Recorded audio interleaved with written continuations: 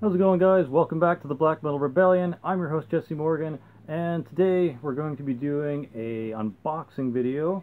Uh, now this shop should be pretty familiar to you if you watch YX Hymns videos uh, because this unboxing comes from Armageddon, Armageddon Record Shop.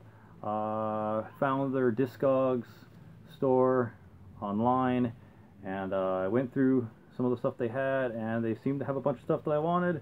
And uh, yeah this is kind of like leftover from the the uh, the YouTube money that uh, you guys have allowed me to be able to acquire uh, through subscribing and liking and sharing my videos around. So uh, I appreciate being able to you know fund the uh, the package here that you've able that you've allowed me to be able to get uh, this goes out to you guys because I know you guys love seeing black metal and uh, allows me to show off some stuff that uh, you guys are interested in. So here's to you guys. Uh, package from Armageddon. I already opened it up so that uh, we don't have to waste time cutting it open. But uh, yeah, so first of all, so some things that you are very probably familiar with and that is Immortal. This is their third album, Battles in the North. Good stuff. Uh, just Immortal doing Immortal. Great black metal riffs, great vocals, very grim and frost-bitten uh, guitar work, pummeling drums. Uh, this is a really good album, I think. It's probably one of their better ones. Um, glad to have it in my collection. But yeah, this is Immortal with their third album, Battles in the North.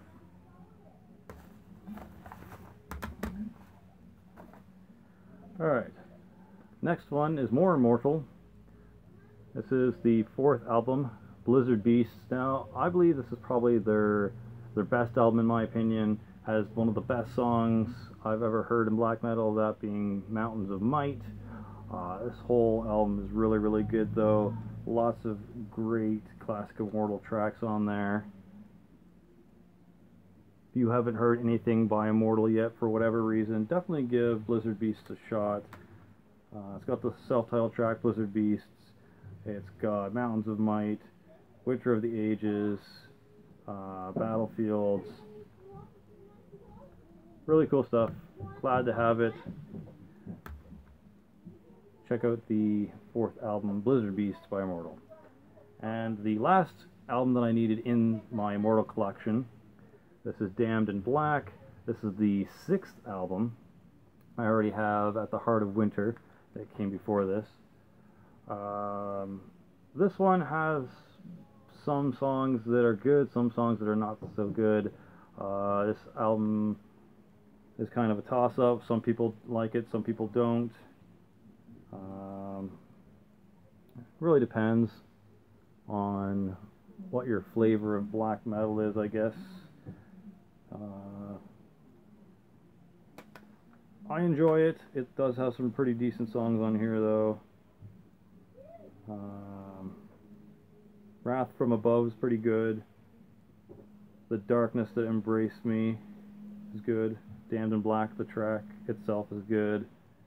Um, even even Against the Tide and Triumph are pretty good. Like, you, it's it's it's all preference, I guess. I I really like Immortal, so I'm kind of biased. Everything they do is really really good in my opinion. Uh, kind of their earlier to mid Immortal, some of the better stuff. The later stuff, it's kind of up in the air. I know some people prefer um, Holocaust over the post um, Blizzard Beast albums. I know a lot of people like to say that At the Heart of Winter is the best album. Uh, I don't know. It's it depends. Let me know what your favorite Immortal album is. Uh, I'm Probably not this one. This one's Damned in Black, like I said, the sixth one, but uh, this was the last one I needed in my collection. So now I have all of the Immortal albums. Uh, I got the other ones in there. You can probably see them in a previous update or two. Um, but yeah, Immortal is one of my favorite black metal bands. It would probably be in my top 10. Um, if you're not familiar with them, definitely check them out. And definitely check out uh, Blizzard Beasts and check out the song Mountains of Might. Really, really good stuff. Alright, the next releases are different. Uh, I just wanted to get the Immortal out of the way since it's the most well known. Uh, the next one I got is this promo copy of Sargeist's first album, Satanic Black Devotion. Uh, it's black metal from Finland, if you don't know. Uh, it's the first album. Uh, Sargeist has four albums in total besides this one. Um, the funny thing is, on the back here, I don't know if you can read that or not. Uh, what it says is for, promo for, for promotional use only, attempt to sell and the razor will greet your flesh. So, whoever sold this to the Armageddon shop, uh, apparently you need to kill yourself for selling a promotional copy, according to Sargeist. it's pretty funny. Uh, but this has some really, really good songs on it. Uh, Nick will tell you from Motley Crue Forever One uh, if you don't like black fucking murder, there's something wrong with you. Uh, but yeah, Frowning Existing is good. Satanic Black Devotion, the, the self-titled track itself. Panzer God's great. Um, Returning to Misery and Comfort's great. Uh, overall, really glad to have this album. And it's kind of neat that it's the promotional version that, uh, you know, civilians aren't supposed to have. This is only for, I think, promotional use for labels and whatnot. So, it's kind of cool, pretty rare. Uh, I'll open it up and show you what the CD itself looks like. It's nothing too special, but you'll probably want to see it since it's not going to be shown too much, I don't think. Ooh, almost dropped it. That would have been fun. But, uh, yeah, that's, that's what the disc looks like. I don't think it's too different from any of the jewel-cased ones. Um, so, but at least you had a look at it and see what it does uh, look like, if it's different from anything else. I really like Sargeist. I'm definitely eventually going to get the rest of Sargeist's collection. Uh, the only thing else besides this I have is the Tyranny Returns kind of demo album. Uh, but yeah, that's that's the first legit album. Satanic Black Devotion. Alright. Next album here is the second uh, album by Xasthur, and it's The Funeral of Being. Interesting artwork. I like the red logo. Uh, if you know Xasthur, uh, you know that they're a you know depressive, suicidal black metal uh, project, uh, one-man band. Uh, Xasthur currently has eight albums in total for the black metal stuff.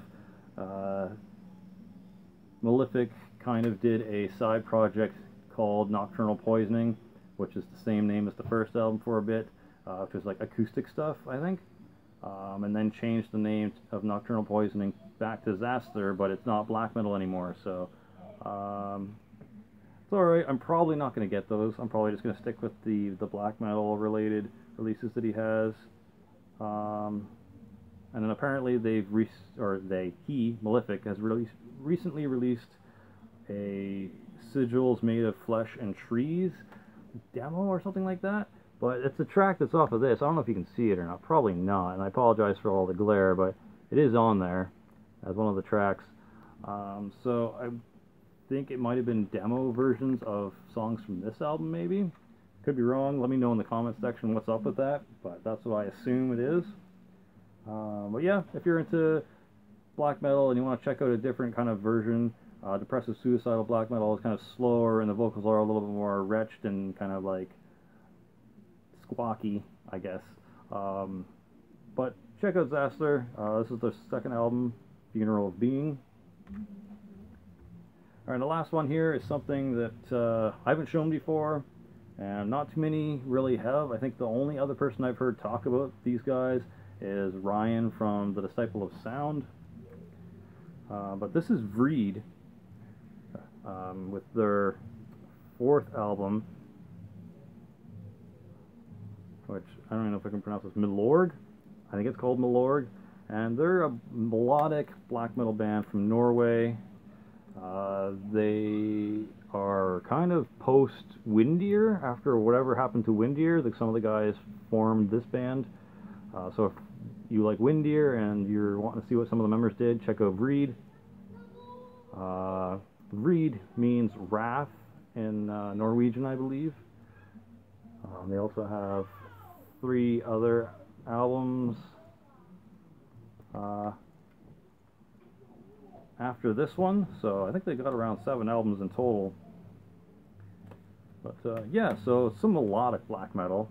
So there's different uh, elements of music put into this as well, besides just straight up fast blistering black metal. So if you, you like some different uh, guitar melodies and some kind of groovier riffs and something other than just straight blasting and screaming, uh, throughout the entire album. Give give Vreid a shot. This is their their fourth one because it was the only one available. Uh, but uh, I'll probably get the other four albums prior to this and uh, definitely check them out. I know, like I said, not many people have talked about them and they're really, really good, so it's a shame.